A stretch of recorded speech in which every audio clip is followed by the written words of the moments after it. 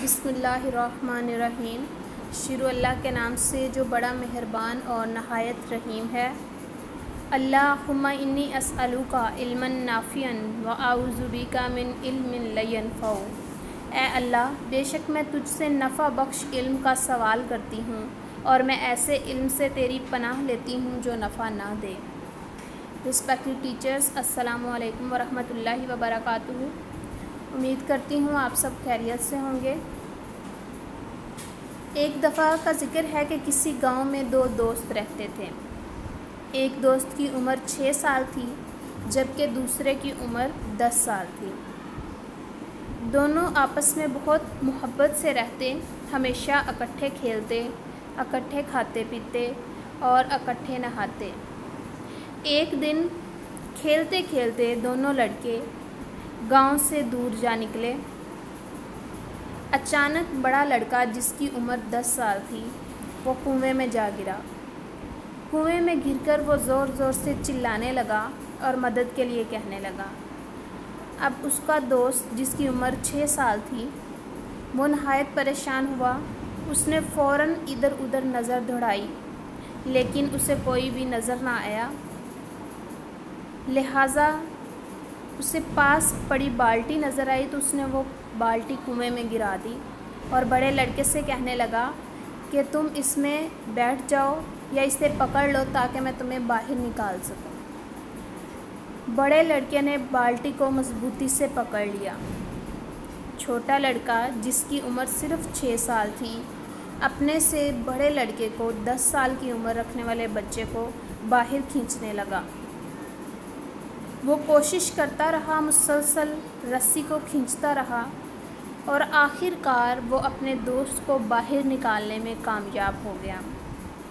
जब उसका बड़ा दोस्त कुएँ से बाहर आया तो उसने अपने छोटे दोस्त को गले लगा लिया और दोनों बहुत ज़्यादा खुश हुए।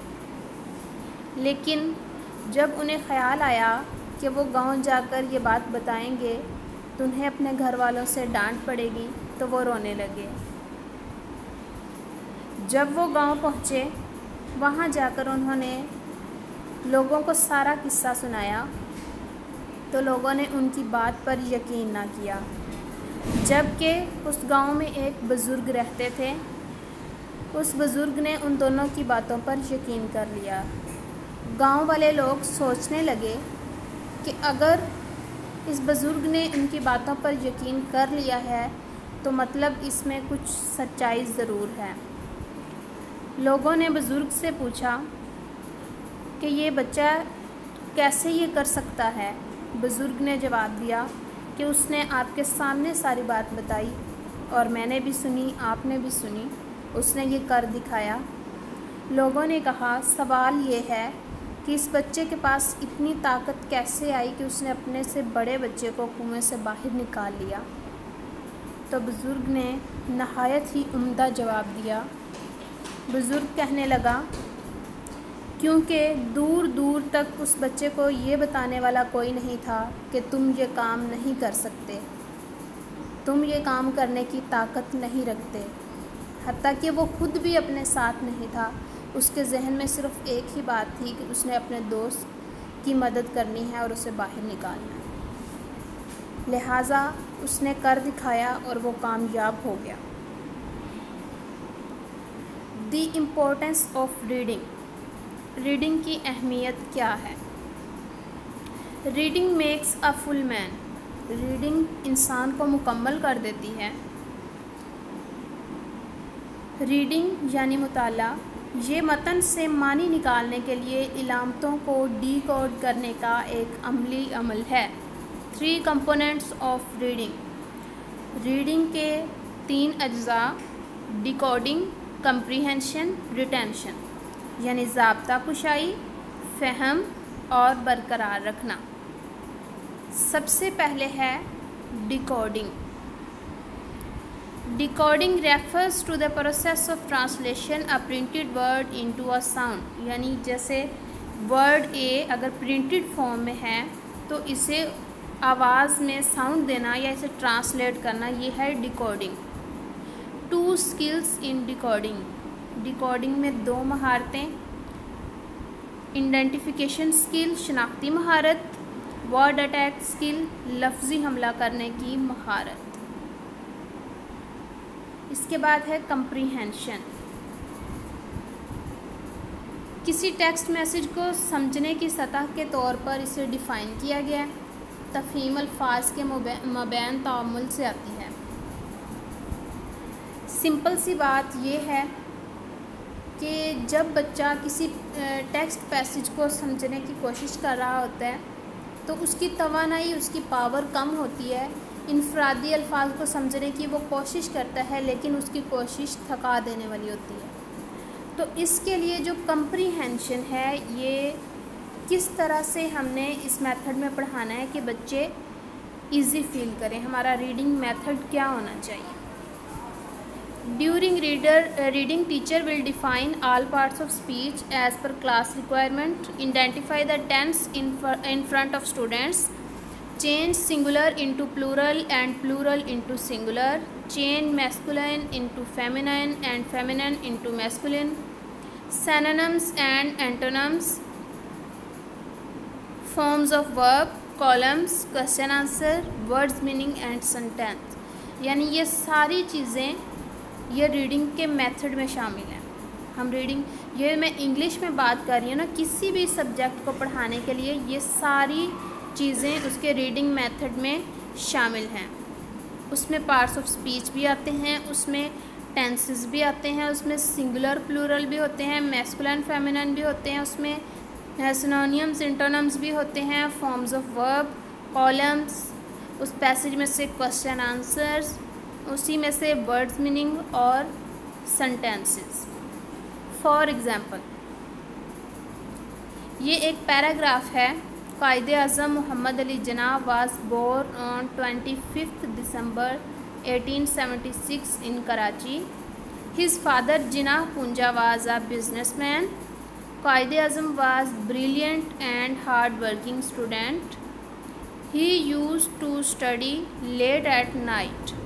He focused on studies and completed his education. He entered politics in 1906. अब इसमें, इस पैराग्राफ में आपने अंडरलाइन कर लेने तमाम इम्पोर्टेंट वर्ड्स जो हैं। जैसे कि अलीजना, पूंजाजना, ये क्या है? नाउन ठीक है वाज इसमें क्या है? हेल्पिंग वर्ब ऑन क्या है? प्रेपोजिशन इन क्या है? प्रेपोजिशन कराची इसमें क्या है? प्रॉपर नाउन बिजनेसमैन इसमें क्या है? नाउन ब्रिलियंट इसमें एडजेक्टिव है. हार्ड वर्किंग इसमें एडजेक्टिव है. ही प्रोनाउन है. एड प्रपोजिशन है. एंड कंजक्शन है. Entered second and third form of verb है. यानी जब हम किसी बच्चे को एक पैराग्राफ पढ़ाएँगे तो अगर हम तमाम चीज़ें साथ के साथ उसे क्लियर करते जाएँ कि इसमें कौन सी चीज़ किस सतह पर इस्तेमाल की गई है, यानी कि इसमें अगर कोई नेम है तो वो नाउन है, अगर कोई हेल्पिंग वर्ब है तो वो बताएँ बच्चों को कि यहाँ हेल्पिंग वर्ब फ़लाँ यूज़ हुआ है और फिर उनसे पूछें कि इस लाइन दे दें सेंटेंस दे दें कि इसके अंदर हेल्पिंग वर्ब कौन सा है तो वो आपको इसका रिप्लाई करें। ये सारी चीज़ें हम अगर एक पैराग्राफ में समझाते हैं बच्चे को तो बच्चा अच्छे से चीज़ों को पिक कर सकता है, अपने लेसन को अच्छे से प्रिपेयर कर सकता है। अब जैसे कि बिजनेसमैन इसमें आया तो बच्चों को बताया जाए कि इसका प्लूरल क्या होता है? बिजनेसमैन यानी ए ई की चेंजिंग से इसका प्लूरल बन सकता है। स्टूडेंट्स से स्टूडेंट्स फादर भी इस पैराग्राफ में यूज़ हुआ है तो इसका प्लूरल फादर्स, नाइट का नाइट्स, स्टडी का स्टडीज़। इसी तरह से मैस्कुलिन फेमिनन है तो वो फादर से मदर बिजनेसमैन से बिज़नेस वूमेन ही से शी हिज से हर वर्ड सिनोनियम है तो एजुकेशन कोचिंग और आगे एंटोनम भी दिए हुए हैं इग्नोरेंस बोर्न है तो इसका बर्थ एंटोनम है डेथ, लेट का अनपंचुअल, अर्ली नाइट का डार्कनेस, डे। उसके बाद इसी पैराग्राफ में से क्वेश्चन बनाएँ। When and where was Quaid Azam born इसका जवाब आपको इसी पैराग्राफ में से मिलेगा। Tell the name of his father इसका ये भी इसी पैराग्राफ में से ही क्वेश्चन लिया गया। What was the occupation of his father qualities of Quaid Azam when was Quaid Azam entered in politics यानी कि जब हम बच्चों को वर्ड्स मीनिंग सिंगुलर प्लूरल ये सारी चीज़ें करवा लेंगे तो उसके बाद ऑटोमेटिकली बच्चे को हर चीज़ का मीनिंग क्लियर होगा, उस वो उसका कॉन्सेप्ट क्लियर होगा तो उससे जब आंसर क्वेश्चन पूछे जाएँगे तो उनके बच्चों के लिए आसान होगा कि वो पैराग्राफ में से उसका आंसर ढूंढ के आपको रिप्लाई करें। ये रीडिंग का बेस्ट मेथड है। इसी तरह से जब आप उर्दू पढ़ा रहे होते हैं तो उसमें भी यही मेथड यूज़ किया जा सकता है कि किसी सबक को लें, पैराग्राफ को लें, उसमें मीनिंग बच्चों को क्लियर करें। वाहिद जमा, मुजक्कर मुन्नस, ये अल्फाज मुतरदफ़, मुतजाद, फिर उसी पैराग्राफ में से आप क्वेश्चन बनाएँ। और बच्चों से उसके जवाब पूछें तो बच्चे आसानी से पैराग्राफ में से जवाब ढूंढ सकते हैं। इसी तरह से साइंस के लिए अगर आप एक टॉपिक लेंगे तो विद डायाग्राम वर्ड्स मीनिंग आप उन चीज़ों को अच्छे से रीड करवाएँगे तो बच्चों का कंसेप्ट अच्छे से क्लियर होगा। इसी के साथ साथ वर्ड्स मीनिंग करवाएँ तो अगर बच्चे को हार्ड वर्किंग वर्ड का आपने मीनिंग करवाया है तो उसके साथ सेंटेंस बनाने का भी उन्हें थोड़ा गाइड करें कि किस तरह से सेंटेंस बनाया जा सकता है। अगर मीनिंग आता है तो उससे आगे सेंटेंस क्रिएट किया जा सकता है। इसमें hard working brilliant night politics ये सारे पैराग्राफ में से वर्ड्स लिए गए हैं और इनके आगे सेंटेंसेस भी बनाए गए हैं। रिटेंशन रिटेंशन ये मुख्तसरा किसी चीज़ को बरकरार रखने की हालत हो सकती है। ये महदूद दाश्त याददाश्त या फिर तवील मुद्दती याददाश्त भी हो सकती है। बरकरार रखने की सलाहियत जो बच्चे की डी कोडिंग पर बहुत ज़्यादा इन्हसार करती है, इसमें पढ़ने की महारत और समझने की सलाहियत दोनों शामिल हैं। रिक्वायर्ड स्किल्स इन रीडिंग मुताल के लिए हमें कौन कौन सी स्किल्स रिक्वायर्ड हैं? Skills related to eye movement, यानी आँखों की नकलो हरकत से मुतल महारत, abilities related to visual discrimination बसरी इम्तियाज़ से मुतल सलाहियतें, एसोसिएशन स्किल और इंटरप्रिटेशन एबिलिटीज़, यानी तशरीही सलाहियतें। Stages of reading development. Reading development के लिए जो स्टेजेस हैं वो यहाँ पर बयान की गई हैं। सबसे पहले है स्टेज ज़ीरो। स्टेज ज़ीरो में प्री स्कूल यानी इसकी ages six months to six years, यानी स्कूल जाने से पहले की जो एज है, ये प्री एज है। इसमें पढ़ने का ड्रामा करना, कहानी को दोबारा बताना, जबकि पहले ही पढ़ चुके हों। मकसद बच्चों को पढ़ाना हरूफ तहजी के नाम वगैरह, जैसे हम घरों में कॉमनली ड्रामाई अंदाज से बच्चों को सिखाने की कोशिश कर रहे होते हैं। लेटर्स को प्रोनाउंस करके अपना नाम अपने नाम बताने के ज़रिए, किताबों पेंसिलों और कागज़ वगैरह से खेलने के ज़रिए। तो ये वो स्टेज है जहाँ पर बच्चों को घर में घर घर की सतह पर छः माह से लेकर छः साल के बच्चे तक के लिए ये जो प्री रीडिंग है, ये रीडिंग डिवेलपमेंट्स की स्टेजेस में से सबसे पहली स्टेज है। स्टेज नंबर वन, ये ज़ीरो स्टेज काउंट होती है, यानी कि ये स्कूल गोइंग स्टूडेंट्स की पहली लाइफ होती है जो ये घर में गुजारते हैं।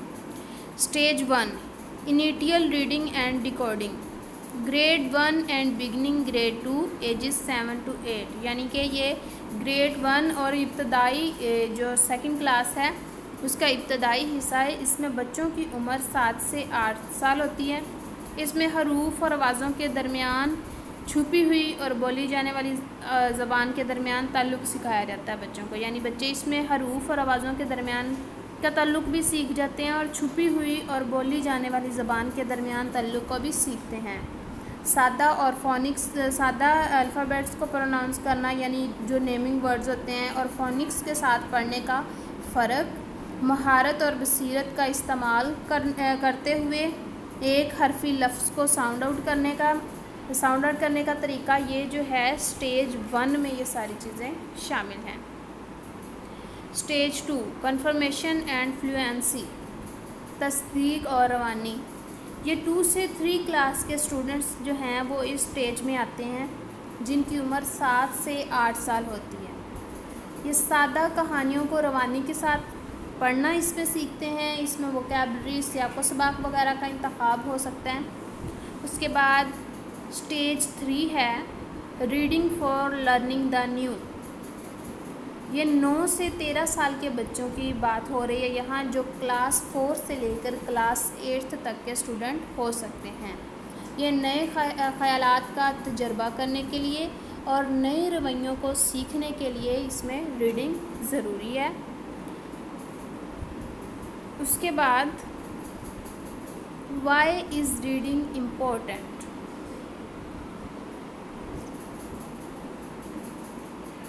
why is reading important reading अहम क्यों है? इससे पहले यहाँ पर टू स्टेजेस मैं शेयर करना चाहूँगी स्टेज फोर और फाइव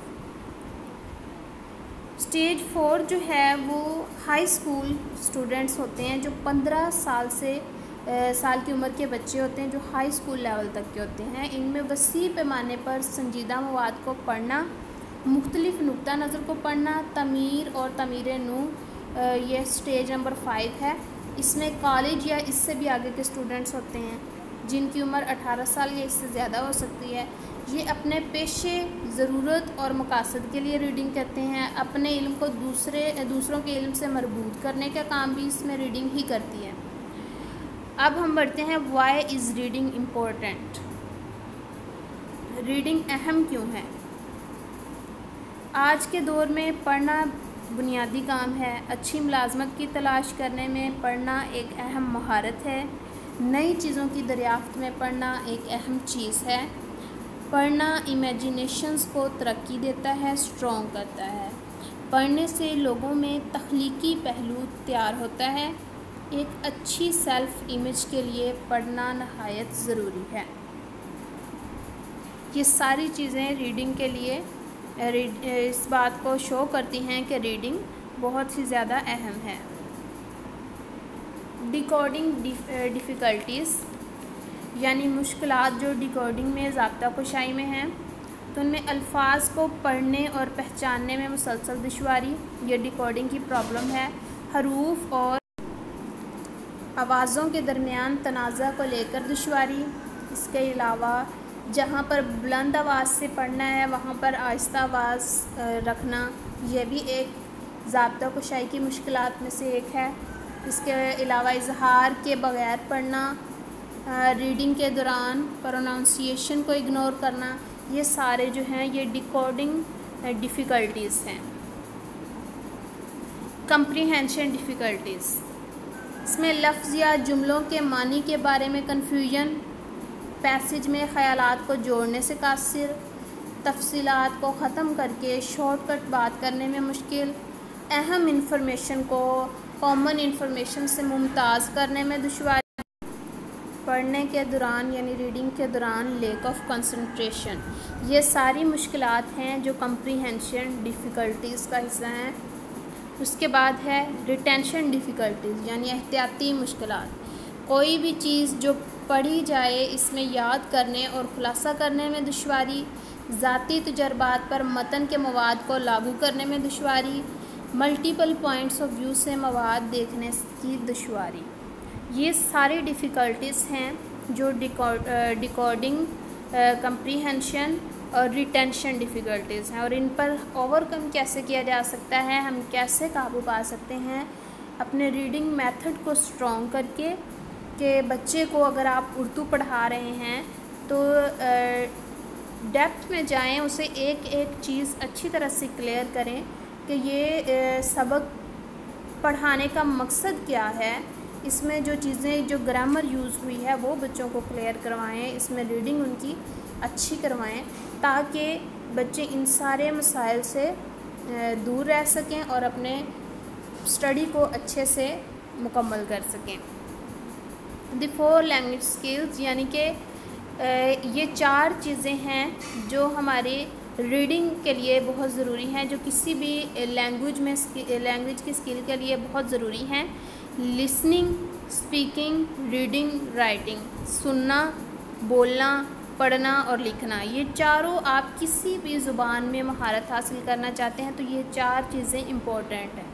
वो आप उर्दू लैंग्वेज है, वो इंग्लिश लैंग्वेज है, वो या वो कोई दूसरी लैंग्वेज है तो उसके लिए ये चार चीज़ें नहायत ही इम्पोर्टेंट हैं। ये चार स्किल्स आपके पास होंगी तो ही आप उस लैंग्वेज पर अबूर हासिल कर सकते हैं।